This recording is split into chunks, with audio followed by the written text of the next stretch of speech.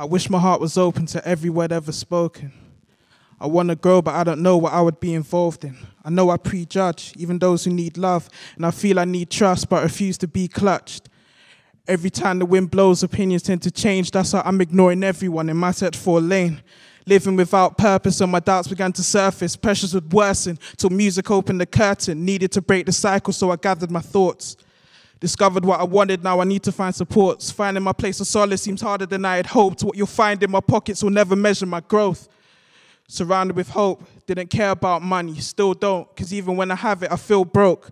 Trying to close up every hole in order to keep afloat. It works, but cracks emerge as the sea flows. Around the same time as when things are going well, we made a couple plans, then Ramel went to jail, having written to the other brothers who slipped as well. I need to, but the truth is I'm too busy making excuses. I had to dig deep to find where my perfect place is. Gave you a glimpse that it was taken like a statement. I'll put it down to my disregard for explaining. And all the weak sheep overlooking what I'm saying. Crossing these oceans, I keep feeling like I'm floating, plotting and scheming. No more room for dreaming. Attempts to move past half heart behaviors greater. Transition from a calculated waiter to a chaser. Used to want a chest full of chains and a frozen wrist. Lost in the maze of illusions, confusing things. Used to want shades just to hide my face. Now I want change because my people chained.